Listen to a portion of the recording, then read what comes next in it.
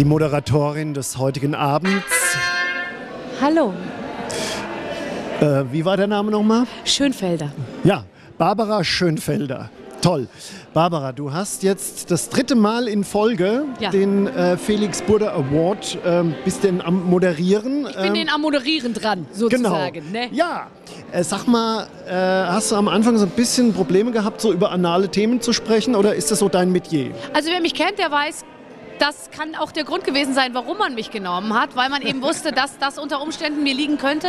Ähm, ich weiß jetzt gar nicht so genau, warum alle denken, dass das so äh, doof ist. Jeder, der es mal gemacht hat, weiß, dass letztendlich eine Zahnreinigung eigentlich Ja. schmerzhafter ist als und, und Kann auch schlimmer und sogar Spaß doofer machen. und Ja. lang. Ist ja eben. Also es ist immer. Und ich habe ja leider geschlafen, aber ich, mir hat man gesagt, es war alles problemlos und ging auch schnell. Ach, du hast es nicht angeguckt, sondern, also das kann man sich Nee. ja live auf dem Screen Nee, angucken. ich habe die Chance wahrgenommen, mal 20 Minuten in Ruhe zu pennen Na. tagsüber. Wann hat man die Chance schon mal? Ruhig zu liegen, keiner stört einen und, und jemand arbeitet irgendwie liebevoll an einem rum. Ja. ja.